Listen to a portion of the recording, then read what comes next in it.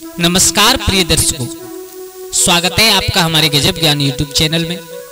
दोस्तों, आज मैं आप लोगों को एक ऐसी कहानी सुनाने के लिए जा रहा हूँ, जो बड़ी ही मोटिवेशनल बड़ी ही शिक्षाप्रद कहानी है। इसे सुनने के बाद आप कभी भी निराश नहीं रह सकते और आपको गरीबी छू भी नहीं सकती। दोस्तों, ये कहानी है तुलसीदास और रत्नावली की। हमारे देश में ऐसे एक संत हुए थे, जो अपनी पत्नी के कहने पर इन्होंने कितना सुंदर कार्य किया था। दोस्तों, इस कहानी से आप लोगों को बहुत प्रेरणा मिलेगी और आप लोग वो पा सकते हैं जिसकी आप लोग कामना करते हैं, जिसकी आप लोग आस लगाते हैं।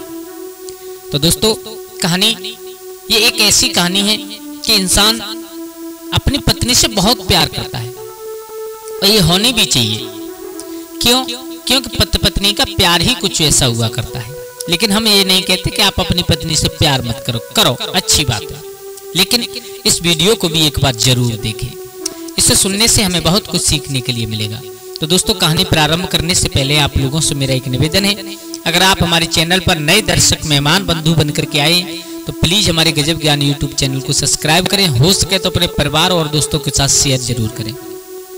दोस्तों, वीडियो पूरा ज़रूर देखें, क्योंकि इस कहानी में हम लोगों को बहुत कुछ सीखने के लिए मिलेगा। ये बड़ी ही ज्ञानवर्धक कहानी है। आ जाओ आप लोगों का ज़्यादा समय बर्बाद न करते हुए कहानी प्रारंभ करते हैं। आप लोगों ने एक संत के बारे में सुना होगा जिनका नाम है तुलसीदास, महाकवि तुलसीदास, जिन्होंने अपने हाथ से संपूर्ण रामचरितमानस को नौ हज़ार सात सौ छप्पन चौपाइयों में लिखा। इतने बड़े संत हुए हमारी इस मातृभूमि, भारत भूमि पर। दोस्तों, क्या आपने सुना है उनका जीवन काल कैसा रहा? तुलसीदास जब थोड़े से बड़े हुए, अपने बचपन से निकल करके जवानी की दहरी पर कदम रखा तो उनके पिता ने और उनका विवाह एक रत्नावली नाम की कन्या से किया। तुलसीदास रत्नावली से इतने इतना प्यार करने लगे, इतना प्यार करने लगे कि रत्नावली के सिवाय उन्हें कुछ दिखाई नहीं देता था। रत्नावली, तुलसीदास एक साधारण हम और आप की तरह इंसान थे। हमारी और आपकी तरह। लेकिन उनका एक मेन पॉइंट ये बन गया कि अपनी पत्नी से जी और जान से ज़्यादा प्यार करने लगे। मेरे भैया तुलसीदास गाय चराने के लिए जाते हैं, पूरे दिन गाय चराते हैं तो वहाँ पर भी बैठ करके रत्नावली नाम का ही उच्चारण करते हैं। दिल और दिमाग में रत्नावली के लिए इतनी जगह थी कि उसके सिवाय उनके पास कुछ नहीं था। मेरे भैया, संध्या को जब लौट करके आते तो जब रत्नावली उन्हें नहीं दिखाई देती तो वो पागलों की तरह व्यवहार करते हैं। रत्नावली रत्नावली रत्नावली करके चारों तरफ़ चिल्लाते हैं। और जब तक एक बार रत्नावली को देख ना ले, तब तक उनके दिमाग में कोई चैन नहीं आता। दोस्तों, ऐसे धीरे धीरे समय निकलता चला गया। कुछ दिन बाद, एक दिन रत्नावली ने कहा है तुलसीदास से पिया, सुनो, अब तीजों का त्योहार जोरों पर है। सभी भैया अपनी अपनी बहनों को लेने के लिए आए हैं और सभी बहनें अपने अपने भाइयों के अपने अपने पिता अपने अपने माँ के पास में जा रही हैं। अगर तुम्हारी आज्ञा हो जाए तो मैं भी चली जाऊँ। तुलसीदास बोले, तुम पागल हो गई हो, हैं? तुम्हें मालूम है हम तुम्हारे सिवाय एक मिनट भी नहीं रह सकते। एक पल हमें चैन नहीं आता, तुम्हारे सिवाय इस संसार में कुछ दिखाई नहीं देता। अगर तुम चली जाओगी तो हम रहेंगे कैसे? रत्नावली ने समझाया, पिया, थोड़ी दिन की बात ही तो है, मैं क्या कोई हमेशा के लिए थोड़ी न जा रही हूँ कुछ दिन बाद तीजों का त्योहार मना करके मैं जल्द यो गई, यो आई, जल्द वापस आ जाऊँगी। मेरे भैया, तुलसीदास बार बार मना कर रहे हैं, मत जाओ, मान जाओ। लेकिन जब रत्नावली ने हट की, पेज की तो तुलसीदास ने कह दिया, ठीक है, कोई बात नहीं, चली जाना। रोज़ाना की तरह सुबह हुआ। तुलसीदास उठे, अपनी पत्नी से प्यार किया। उसके बाद में गाय खोली, जंगल में चराने के लिए गए। जंगल में बैठे हैं, गाय किसी का खेत चल रही है, लेकिन तुलसीदास के दिल और दिमाग में वही बसा हुआ है, मेरी रत्नावली मेरी रत्नावली मेरी रत्नावली। मेरे भैया, अब इधर तुलसीदास तो जंगल में गाय चरा रहे हैं, और इधर रत्नावली का भाई आया तो रत्नावली अपने भाई के साथ, अपने पीहर, अपने बाप के पास में चली गई। दोस्तों, संध्या की समय, रोज़ाना की तरह तुलसीदास गायों को लेकर के आए, खिरक में आकर के गायों को रखा, उसके बाद में घर की तरफ़ गए तो क्या देखा, दूर से घर पर ताला लगा हुआ है। गेट बंद है, घर का द्वार बंद है, दरवाज़ा बंद है। मेरे भैया, दरवाज़ा बंद देख करके तुलसीदास का धड़कन रुकने लगी। ऐसा ही होता है, जब हम किसी से प्यार करते हैं और वो हमें आँखों के सामने दिखाई नहीं देता तो हमारी धड़कन अपने आप कम होने लगती है या बढ़ने लगती है, अपना संतुलन खो बैठती है। मेरे भैया, तुलसीदास का कलेजा दबने लगा। अब तुलसीदास ने आवाज़ लगाई, रत्नावली, अब रत्नावली वहाँ हो तो दरवाज़ा खोले। वो तो चली गई अपने भाई के साथ। तुलसीदास ने अपने आप को संभाला। संभालने के बाद उस दरवाजे को खोला। खोल करके अंदर गए तो क्या देखा? कुछ नहीं था घर में। घर खाने के लिए दौड़ रहा है। तुलसीदास के आँगन घर में एक टूटी सी चारपाई पड़ी है। उस चारपाई पर तुलसीदास लेट गए लेकिन नींद कहाँ? नींद किससे आने वाली है? केवल याद कर रहे तो रत्नावली रत्नावली। सोचते रहे सोचते रहे काफ़ी समय व्यतीत हो गया। अंधेरी रात थी, भादों का महीना था। ऊपर बादल लदे हुए थे। बिजली चमक रही थी। बादल गरज रहे हैं और तुलसीदास सोच रहे हैं कि अब मैं करूँ तो करूँ क्या? जब तक मैं पत्नी को नहीं देखूँगा, मुझे नींद नहीं आएगी, मुझे चैन नहीं आएगा, एक पल के लिए शांति नहीं मिल सकती। मेरे भैया इतने अंधे हो चुके थे, तुलसीदास अपनी पत्नी के प्यार में। दोस्तों, अब तुलसीदास के दिमाग में एकदम एक विचार आया। तुलसीदास ने विचार किया, मुझे माल में पूरी रात मुझे नींद नहीं आएगी। तो अब मुझे अपनी पत्नी से मिलने के लिए चलना चाहिए। मेरे भैया, तब तक जोरों से बारिश शुरू हो गई। बारिश इतनी ज़ोर से होने लगी कि मूसलाधार वर्षा होने लगी। बिजली चमक जाती है, बादल गरजते हैं, बिजली चमक जाती है, तब कुछ दिखाई देता है, वरना काली अंधेरी रात। और तुलसीदास घर से निकले, अपने घर का दरवाज़ा बंद किया और अपनी ससुराल की तरफ़ चल दिए, अपनी पत्नी रत्नावली से मिलने के लिए तुलसीदास आज काली अंधेरी रात दोस्तों, बारिश इतनी तेज थी कि तुलसीदास पूरे भीग गए। कीचड़ युक्त रास्ता था, बारिश ने रास्ते को कीचड़ बना दिया था। तुलसीदास के कपड़े पूरे गंदे हो गए, सब कुछ सन गए, लेकिन ससुराल की तरफ़ चलते रहे। चलते रहे चलते रहे, आधी रात्रि बीत चुकी थी। तो तुलसीदास के रास्ते में एक दूसरी समस्या आई।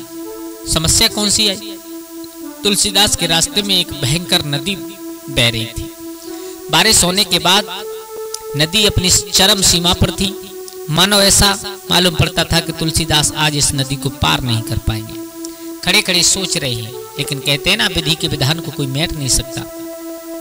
तुलसीदास ने देखा कि दूसरे किनारे से इस किनारे की तरफ़ एक नाव जैसी कोई चीज़ चली आ रही है। तुलसीदास समझ गए कि मेरी पत्नी मुझसे कितना प्यार करती है। जितना मैं करता हूँ, उतनी ही प्यार करती है मेरी पत्नी मुझसे। उसने, मुझे मालूम था कि तुलसी, मैं आऊँगा ज़रूर। तो उसने मेरे लिए नाव भिजवाई है।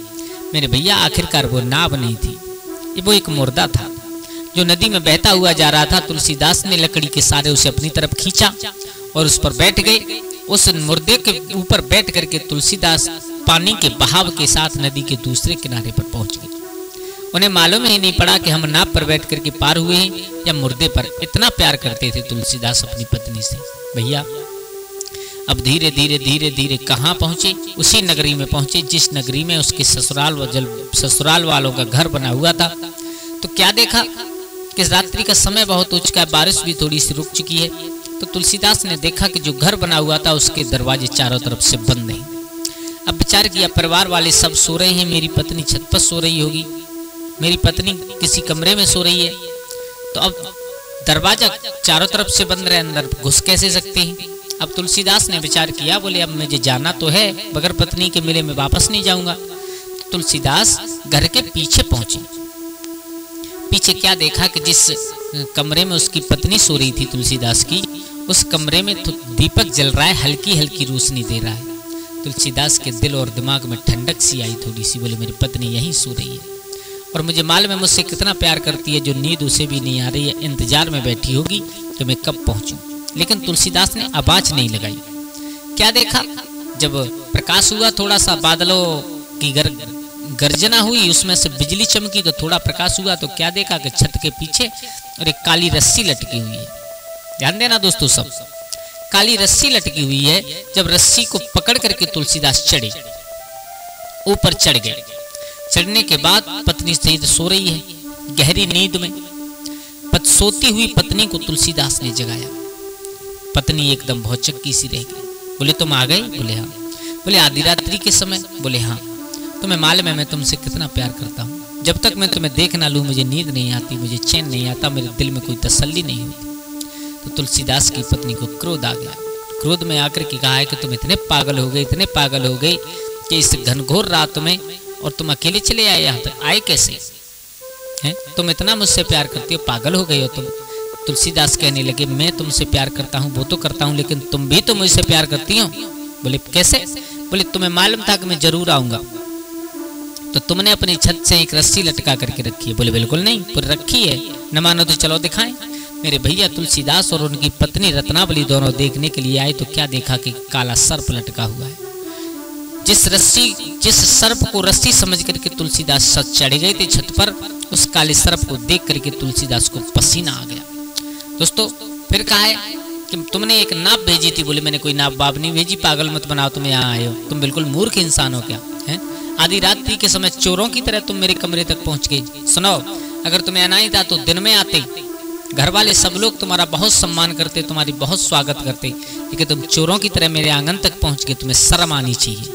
अब तुलसीदास नीचे नज़र किए हुए खड़े हैं। और दोस्तों, ये बात हकीकत है। इंसान के दिल में ठेस तब लगती है जब बेइंतहा मोहब्बत करने वाला ही और हमसे जब कोई बात कह दी तो।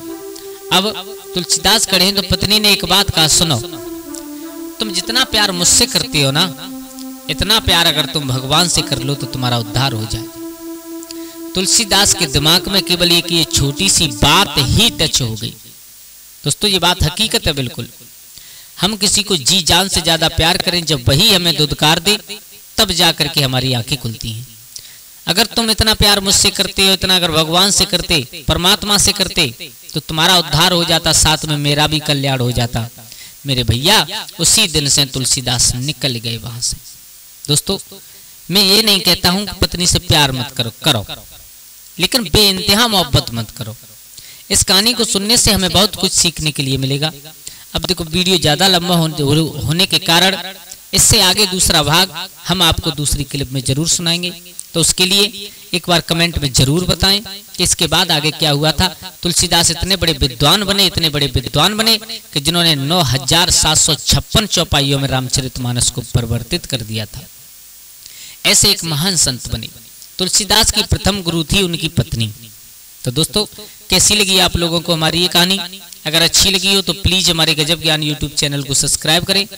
और हो सके तो अपने परिवार और दोस्तों के साथ में शेयर ज़रूर करें। आज के लिए बस इतना ही। कल फिर मिलते हैं किसी एक नई कहानी, एक नई चर्चा के साथ। तब तक के लिए सभी लोग आनंदित रहें, खुश रहें। जय श्री राधे, जय श्री राम।